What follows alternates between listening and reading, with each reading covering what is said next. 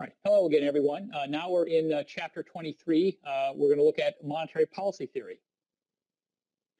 And so here's what we want to look at. Well, what should a central bank, the Fed maybe in particular in our situation, what should they do in case of various different scenarios they might be confronted with?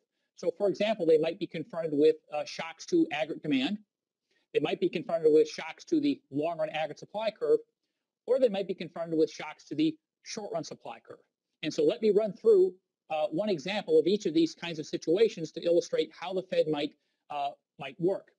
And what we'll see at the end is that, well, gee, it looks like the Fed is uh, well able to at least mitigate some of the issues brought up in these situations, but that they also face, it turns out, uh, important timing issues in terms of actually conducting their policy. So the first situation we want to look at is a negative demand shock, or in other words, a decline in aggregate demand. And so as you can see, there'll be a number of possible uh, reasons for this. We could have a decline in exports. Uh, we could have a decline in consumer confidence, which reduces consumption, uh, or any number of, of alternatives here. You know, consider, for example, in 2007 and 2008, what we saw was a number of uh, problems in the housing market that spilled over into financial markets, and that in turn spilled back yet again in, in a feedback effect in terms of consumption uh, and investment. So we saw a number of negative effects here. And so what we want to uh, think about is this. Well, what should the Fed do if faced with weak aggregate demand? And it seems fairly straightforward that what the Fed should do is pursue an expansionary policy because after all, monetary policy is almost tailor-made for weak aggregate demand. Consider, for example, the little pun here, the Taylor rule, where we saw in that video, remember, that we could go through an example and demonstrate that with uh, weak aggregate demand, generating low inflation and low GDP growth, that should call for a relatively low value of the federal funds rate. And as we'll see here in just a second with a, a simple chart, that if the Fed is able to, to time things correctly and so forth, well, they can prevent or maybe at least mitigate the decline in GDP and also prevent any declines in inflation from becoming deflationary. And so what we can do is flip over to our first graph here. And so notice how I've got things set up. So initially, the economy started off at full employment at an inflation rate of pi zero and at the full employment level of GDP. Then along came some negative aggregate demand shock, for example, a decline in investment and consumption, uh, again, for example here, that shifts the aggregate demand back to the left. If left alone, in the short run, the economy would reach an equilibrium at a lower level inflation, pi 1, and a lower level of real GDP, y1. Well, here, what the Fed can take advantage of the fact is that expansionary monetary policy works to increase aggregate demand. So the Fed could reduce the federal funds rate target.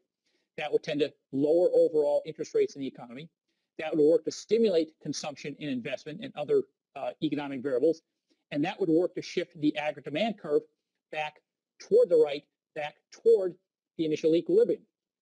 And if the Fed was able to time its actions correctly and do actions of the correct magnitude, it's pretty clear to see that the Fed would be able to move the economy back towards initial equilibrium, or in other words, stabilize the economy and prevent the GDP decline from being more, more longer lasting than it would be otherwise, and prevent the inflation from possibly becoming deflationary. So again, it looks like the Fed is just perfectly suited to combat or deal with an aggregate demand shock.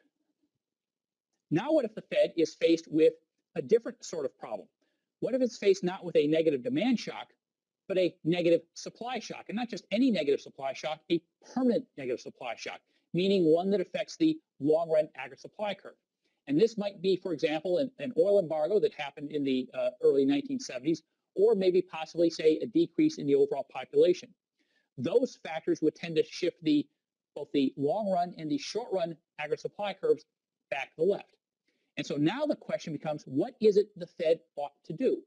So let's consider the outcome where it, it does nothing. In other words, the economy is simply left alone to stabilize itself. Well, in that situation, what we'd observe would be something like this chart right here. So the initial long-run equilibrium was at this full employment level of real GDP and this level of inflation. Well, along comes this negative supply shock, which forces the long-run supply curve and by implication, the short-run supply curve back to the left. Those factors work together to constrict supply within the economy. That tends to push up inflation and simultaneously push down real GDP growth. So if the Fed did absolutely nothing, the economy would reach in an equilibrium, a long-run equilibrium, at a relatively higher inflation rate and a relatively lower level of real GDP. So now it, we need to think about, well, what should the Fed's options be here? Well, they could pursue, they could, of course, do nothing and leave the situation as is, or they could pursue an expansionary policy, or they could pursue a relatively contractionary policy. Well, the expansionary policy, of course, would tend to move the aggregate demand curve to the right, just like in our previous example. The problem, though, the Fed can no longer, and this is the big deal here, the Fed can no longer obtain this level of real GDP permanently because that's now unattainable due to the leftward shift of the long run supply curve. The difficulty here is the Fed cannot any longer attain this level of real GDP. It's sort of stuck with that new level of GDP, at least in the long run. So if it pursues an expansionary policy by increasing the aggregate demand curve to the right, it would be pretty easy to see that we'd end up with excessive inflation, even more so than we already have, but wouldn't do anything to restore long-run GDP. But what the Fed could do, however, is it could uh, institute a contractionary policy and stabilize inflation back toward the old level. Because, for example, pi 1 might be higher than its target. And so by pursuing a contractionary policy to reduce aggregate demand, that would tend to shift the aggregate demand curve back to the left and it would be relatively easy over time, at least according to our chart here, to move the inflation rate back to its target. Now, this might take a little bit of time to actually occur, but the Fed would be able to stabilize the economy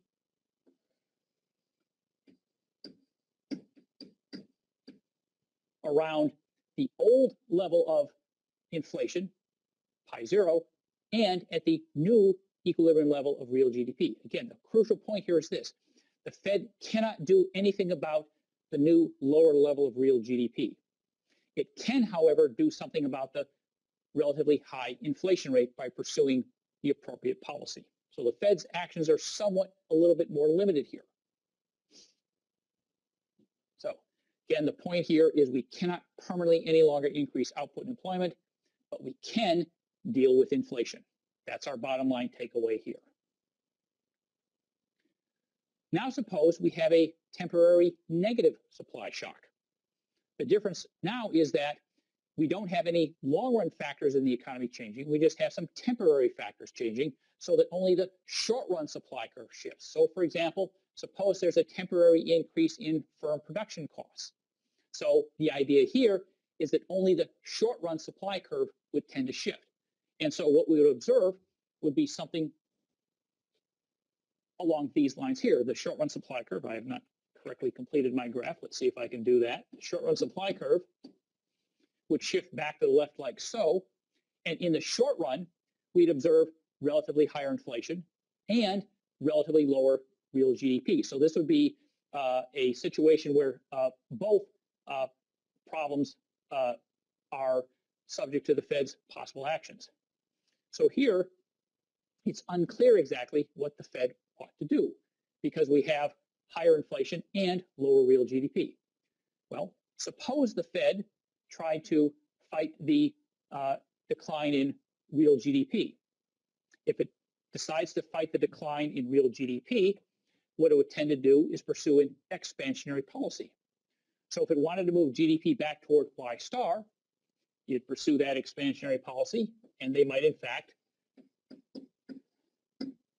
be able to, with an increase in aggregate demand, move output and employment back toward Y star.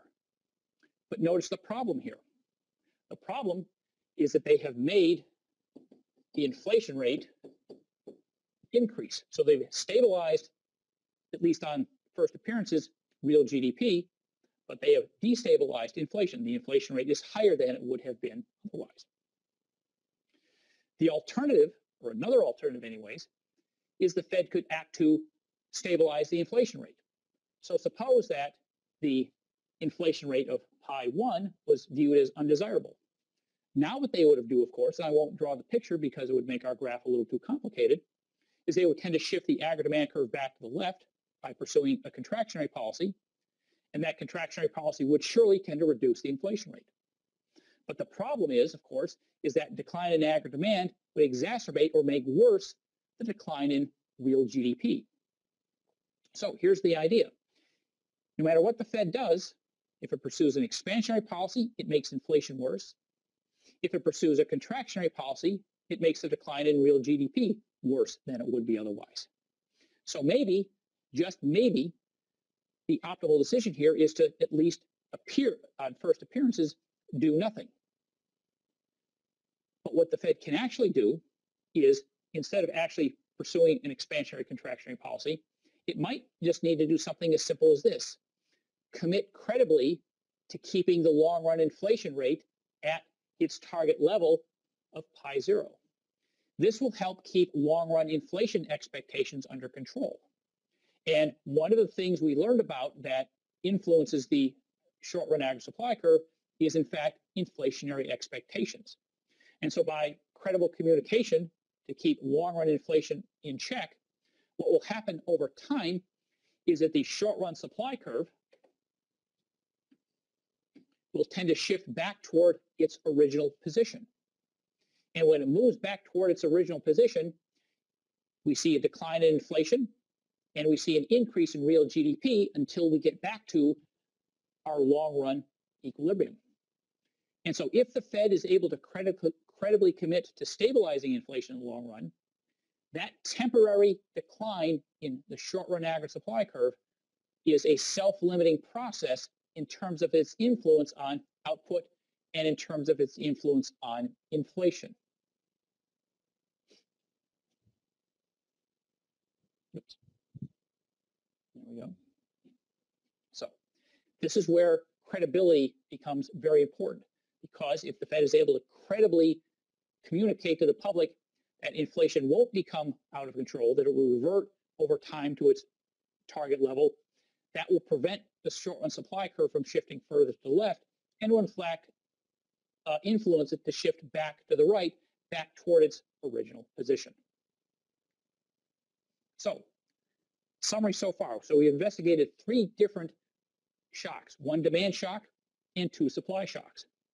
And it seems, at least at first glance, that the Fed is able to not completely eliminate a problem, but at the very least mitigate economic problems. Well, the difficulty is that, among others, the Fed has problems in terms of timing. And what we want to see here is not only are there timing issues, that sometimes it has difficulty shifting, for example, the aggregate demand or the aggregate short average supply curve by the amount that it wishes. So sometimes policy changes don't transmit fully to the economy. Now that's an issue for another uh, video, but what we want to look at here is the timing issue in terms of the, the Fed's actions. So in life, of course, timing is very important. It's no different with monetary policy. Consider, for example, uh, what we call the data lag. Data on the economy take time to arrive.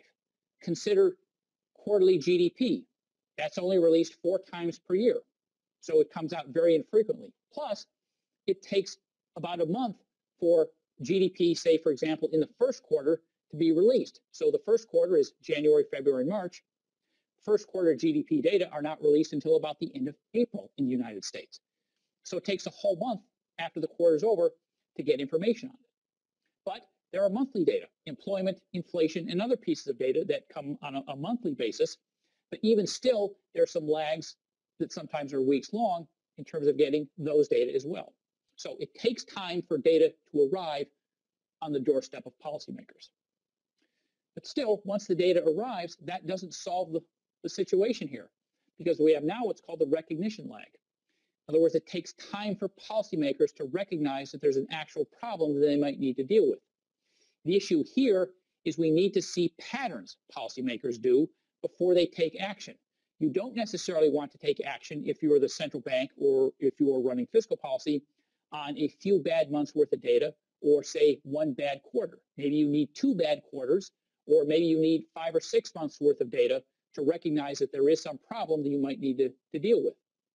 But the point here is that you need to wait until you've got this pattern, and by which point your problem has been uh, in existence maybe for several months or possibly even longer. But now surely you think, well, okay, now the data have arrived. Now we've recognized that there's a problem. Now we're done. Well, unfortunately, no. Now, though, we have to actually decide what the heck to do about the problem. Well, central banks, like the Fed, are usually pretty fast. They just need to have a meeting or so, which might not even need to take place in person, so they can decide relatively quickly. So they have an advantage over fiscal policy where governments, especially democratic governments, usually take some time to decide what sorts of policy actions they might want to pursue. So finally you think, well, now we're good. Now finally they've gotten the data, they've recognized there's a problem, and they've decided what to do. But now, unfortunately, once they've decided what policy to pursue, there's what's called the implementation lag. It takes time for decisions to actually take place. So central banks on this front are relatively fast. If, for example, the Fed decides to pursue a contractionary policy, it can very quickly call up the trading desk at the New York Fed and have them execute that policy on the very same day. So central banks can do that stuff really fast. Well, governments, again, especially democratic ones, take a while to actually implement their policies to, for example, change taxes or to change government spending. Those can drag on for months or possibly even years. And then last but not least is this, is once You've gotten the data, you've recognized there's a problem, you've decided what to do, and you've implemented your solution. One last problem you run into, the effectiveness lag. Your policy actions are going to take a long time to actually impact the overall economy. To, for example, change aggregate demand, meaning changing consumption behavior, meaning changing investment behavior, meaning changing behavior of, say, for example, exports. These things take time to occur. Financial markets, interestingly, react pretty quickly. So if monetary policy changes, stock prices might react right away, interest rates might react right away, exchange rates might change quickly, and so forth. But the underlying real economy, consumption, investment, exports, and so forth, those sorts of behaviors are oh, much more slow in terms of their overall effect. Those things might take months or possibly even years to react to a policy change. And so clearly the point here is this because of all of those lags, there can be really long delays between a problem and when a solution actually starts to impact the economy. Consider, for example, our most recent financial crisis. Until 2008, September 2008, there was a pretty modest response on the part of the Fed. They did do you know, some policy actions, but not very dramatic. By then, the underlying problems in the financial market and eventually the economy became very severe. They were able to move really quickly once they discovered these problems. And even the federal government moved very fast. For example, the TARP uh, bill was passed in October of 2008, and the American Recovery and Reinvestment Act was passed in February 2009. And for the federal government, those are really pretty lightning fast actions. However, even still, their effectiveness lag is going to be a problem because the change in monetary policy, which impacts interest rates, for example, will take time to impact consumption investment. Changes in government spending and taxation will take time to alter consumer behavior and firm behavior. So again, these lags might be months or possibly even years. So wrapping up here, under certain circumstances, the Fed might in fact be able to do a pretty good job at mitigating effects of negative shocks to the economy. Well, the circumstances that we need are getting the timing right. And unfortunately, uh, this is easier said than done. And also getting the magnitude. Again, that's also a little bit more difficult than might be at first glance. Thank you very much.